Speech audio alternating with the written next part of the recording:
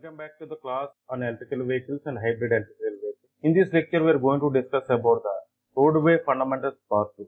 Vehicle kinetics. Nothing but when the vehicle is moving on the road, what are the parameters are going to affect on the vehicle and what are the changes will be occurs in a vehicle. When the vehicle is moving on the road, the tangential component of the force will be changes. That is highly depending upon slope of the road. Suppose if any vector is representing in a tangential vector, then the equation will be simplified. That is the reason that we are representing the tangential coordinate. The tangential coordinate system is same as the fixed coordinate system. There is no change in the z axis, but the xf axis and yf axis will be changes. That is depending upon the roadway.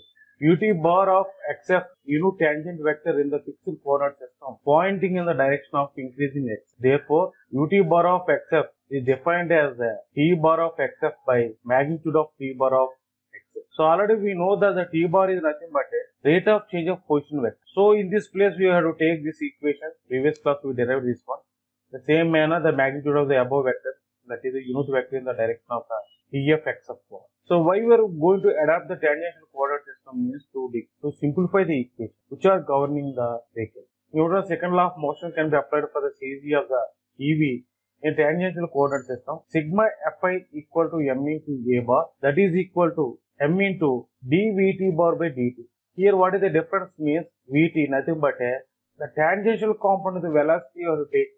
where m is the effective mass of a vehicle. Now the component tangent to the road is equal to sigma fxt bar equal to m dvxt bar by the component normal to the road sigma fyt bar equal to m into dyt bar by dt. Suppose if the road is in this manner, we have taken the x-axis in, in the, direction of the road. In this direction, the y-axis will be there. All forces will be acting only in this plane only, xf and yf plane only. Then no force will be acting on the z-axis. Sigma f bar of zt equal to m into d by dt of vzt bar equal to 0 because there is no force is acting on the edge. There is only one force is acting on the edge that is the when the vehicle is moving on the road the vehicle force will be acting upwards that will be compensated by the gravitational force on a vehicle. That's why there no force will be acting in the air.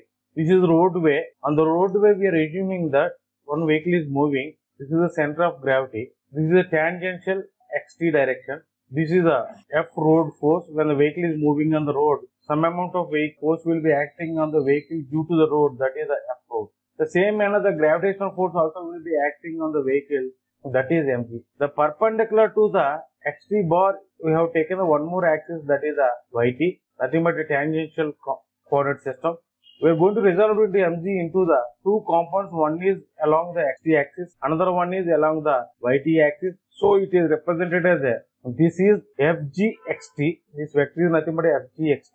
This is the rolling force. See here one more component also will be there that that is the FGYT. FG is nothing but a force due to the gravity. YT is nothing but a YT is nothing but in the direction of YT axis. The same manner this component nothing but a FGXT. The gravitational force in the direction of the. This is rolling force. When the vehicle is moving on the road, there is a, some amount of force will be acting between the wheel and the road. That also should be opposite the forward motion of a vehicle. So one more force also will be acting on the vehicle that is the FAD. Nothing but it, due to the A, there is some amount of fraction will be there on the front face of the vehicle. It is also opposing the, the forward movement of the vehicle. So all these forces should be overcome by the force which is available between the tires and the road given by the motor. Then only the vehicle will be moved forward. The whatever the force is required between the wheel and the road if it is not sufficient to overcome these three forces mean, then the vehicle does not move. Whether it is plain road or gradient road, whatever it is. So sum of these three forces are nothing but a F roll, nothing but a rolling force, FPAD and FGXT, road load force. Now here we have taken one horizontal axis. The angle between these two we defined as a beta, where beta is nothing but a gradient angle. That force should be overcome by the propulsion unit which is giving a force to the wheels that is nothing but a tractive force. The tractive force is nothing but a, it is a force experiencing between the wheels and the road. Now FGXT nothing but a the gravitational force in the direction of tangential axis that is equal to mg sine beta from this triangle.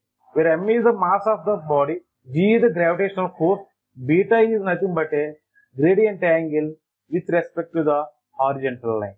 Now we are going to see how this rolling force will be come into the picture. Suppose if the vehicle is stationary on the road, the vehicle force and the force on a wheel both are aligned on the same axis. So by the time the, the rolling force becomes a zero. When the vehicle is moving, the vehicle force will be upward. There is some hysteresis between wheels of a vehicle and the road. So because of that one, whatever the load applied on the wheel will be misaligned with this vehicle force.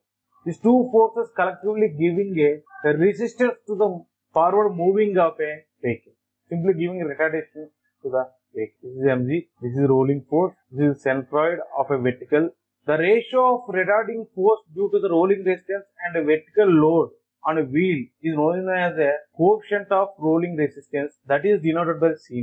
The rolling resistance force can be calculated given below. F rolling equal to signum of Vx of t into mg into C0 plus C1 Vxt here. If Vxt is not equal to 0. Vxt is nothing but a velocity in the xt direction. We are defining all these quantities in terms of a tangential coordinate. Already we define the C0. M is nothing but a mass of a vehicle. G is nothing but a gravitational force. This is the formula to find the rolling force if Vxt is not equal to 0. Suppose if Vxt equal to 0 and FTR minus FGxt is less than the C naught mg, then the rolling force becomes a FTR minus FGx. FTR is nothing but a tractive force, which is a force which is experiencing between the wheels and the road, which is given by the motor in case of EV. In case of HEV, that may be given by the electric motor or IC engine. If the Vxt equal to 0, modulus of FTR minus FGxt greater than the C naught mg, then that use this formula sigma of Vxt FTR minus FGxt C naught mg. FGxt is nothing but a, the gravitational force in the xt direction. Now how do you find the sigma of Vx? The C naught value always greater than the 0.04 and less than the 0.02 which is unitless. The C, one more constant also we have seen there where C1 is far far less than the C naught. C naught mg is nothing but a maximum rolling resistance at a standstill. Sigma of Vxt given below. The sigma of Vxt equal to 1. The Vxt magnitude is greater than the 0. It is equal to minus 1 when Vxt is less than the 0. The aerodynamic force this is the thing which is related to the rolling force. If we come to the aerodynamic drag force, how we are going to calculate the aerodynamic drag force means by means of this formula.